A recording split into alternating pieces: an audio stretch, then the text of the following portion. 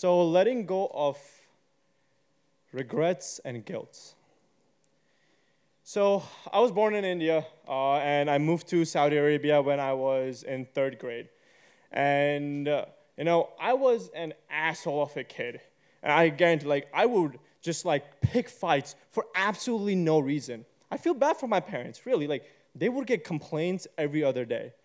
And I think that's why when it came to eighth grade and it was time to pick a high school, because there were no really good ones around, they were like, we'll send you to boarding school. But not any. They sent us to a military academy by Chicago, right? I'm a kid who has lived most of his life in the hottest part of the world. Send to fucking Chicago, where the wind tears your face. I didn't know this, okay? I didn't even go to Chicago. See, I didn't even see the boarding school. All I saw was images and a call at that time. It was Skype. People who remember, remember. Skype. I Skyped the counselor, and that's where my interview was done.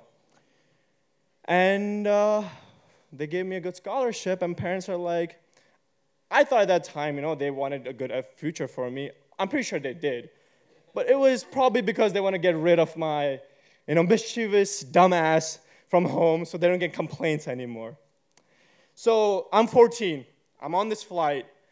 I'm going all the way to Chicago. From my house to there, it's 30 hours, right? Oh, it's shit, all right. you get off, uh, you take the car to the airport, and it's a seven hour first leg to Amsterdam. You know, I'm in there, it's, again, cannot afford first class in business, right? It's economy, like uh, all of us. Um, it's just, I had a crying baby next to me. It's my first time going international. Give me some leeway. And it just smelled like farts the whole time. And it's just not a fun trip. And I thought once I get there to the airport, it will be nice and amazing. You know, America, all I've known about America was from Big Bang Theory, you know? Ah, all the good stories. Never been, never know anyone from there, but just from the TV shows. That's all I knew about America. And uh, once we got, once I landed in Chicago, I'm like, this is the city. This is amazing. But my school was an hour and a half. And people who have been to Midwest, it's not a pleasant ride. I'll tell you that.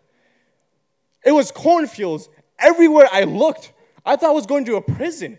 I was literally taking a car ride for a straight hour. I looked around, and it was nothing but cornfields as far as I can see. And I finally get there. And um, you know, I'm a 14 year old who has an accent, who has no idea. I'm the only Indian kid in the school. And, uh, you know, I want to make friends. I really do.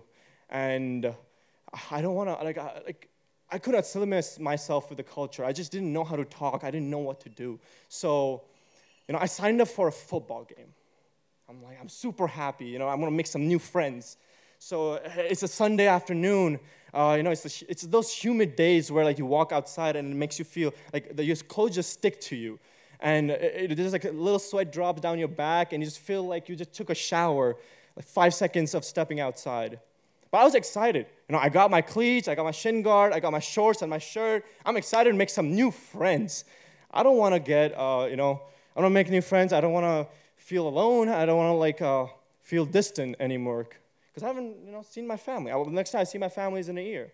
And I walk through the field towards, uh, you know, the football field. Uh, it was like a big parade field. And as I get closer, I see big ass two pillars. I'm like, hmm, this is not I remember football field look like. I get closer, but I'm a stubborn, I'm an asshole of a kid. I don't want to be wrong. So I keep walking, I keep walking, and I get there. And instead of accepting, you know, that there was double the size kids throwing a ball around, and that was not the football I knew. The football I knew, you use your leg and you kick the football around, like the real way. I'm just saying. Um, but these kids are massive, right? They fall around, and I don't want to be wrong. I want to make friends. I don't want to feel guilty. I don't want to, you know, feel alone. So I say, yes, I know the game. Let's get it. Let's line up. So I don't know what the fuck I'm doing, I, get out of the field. The guy tells me to, you know, go stand, and he's like, cover the person. See, I know that much. I'll cover, right? Like wherever he goes, I'll follow him. You know, just follow him around.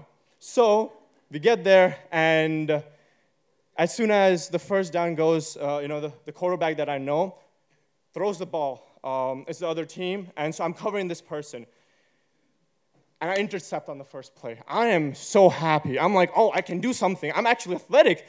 And I grab the ball and I run. And I run like the wind. I'm so happy. I'm thrilled. My teammates are gonna be so happy. They're gonna cheer me. I'm gonna have the best friends for the rest of my life. And I keep running and I keep running. And like my legs are cramping, my lungs are, uh, lungs are burning. And I get to the touchdown. And I'm slam the ball down. I'm jumping. I'm hoping my friends are gonna come and carry me around.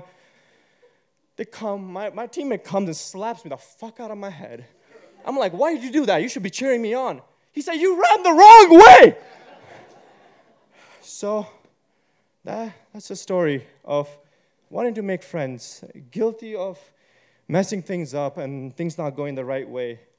And walking back, and you know, it took me a while to make those friends again. But you know, it taught me one thing that regardless of how far you're from home, how guilty you get, how worse things get, things will work out. And now I'm here at Drexel, eight years later, enjoying and giving us a talk. Thank you so much.